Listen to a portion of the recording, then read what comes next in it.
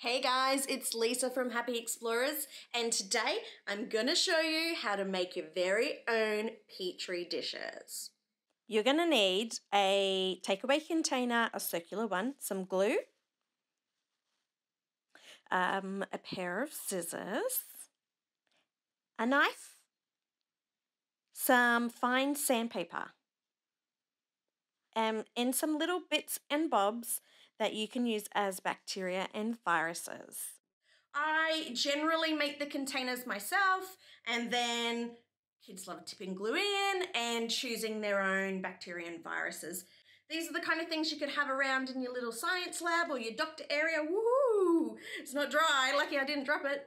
Um, and they're fantastic. So watch the tutorial, make your own, tag Happy Explorers or comment below your creations and I'll come and have a look. And jump over to Raspberry Rockets on Instagram to do a DIY incubator. Oh my gosh, how fun! You can make your petri dishes, you can incubate them, and then you can see what you've created or what has grown in a safe way with kids.